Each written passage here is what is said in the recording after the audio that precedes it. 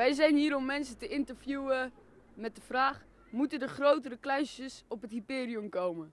Wij zijn eh, van het Hyperion en wij moeten mensen interviewen voor een opdracht Frisse Blik.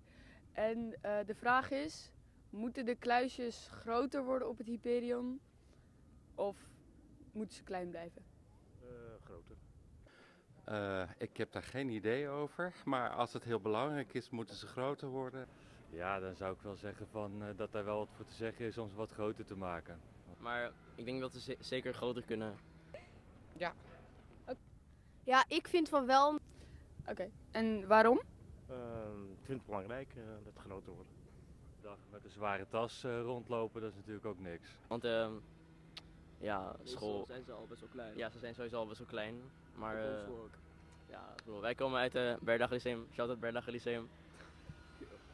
Eh, ja, dat was het een beetje. Maar ze moeten sowieso groter, want ik bedoel, het is best wel vervelend om je boeken elke dag ehm, mee eh, van huis mee te nemen naar school. Ja. Ik denk dat als de kluisjes iets groter waren en je deed al je boeken in het kluisje en dan zou je, ja, dat zou gewoon perfect zijn.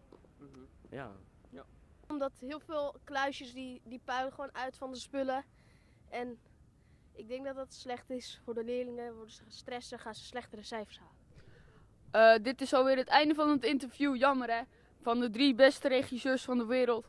Ehm, ja, laat even je mening achter op Twitter, hieronder in de link. En eh, subscribe natuurlijk, geef een duimpje omhoog. En ehm, eigenlijk geef gewoon een antwoord wat je ervan vond.